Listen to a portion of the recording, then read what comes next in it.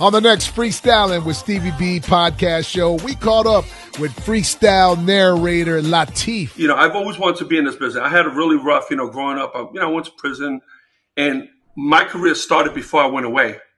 So I was taken out of a situation just when everything was blossoming. Mm. So I was really, I was pulled out of the situation, something that I wanted so bad. And I was taken, and now I'm watching everybody blow up on the screen, on the TV screen from the day room. I, I watched, I saw my wife for the first time from the day room. So funny because when we came up, I was having a lot of issues at that time with Sal Vitello.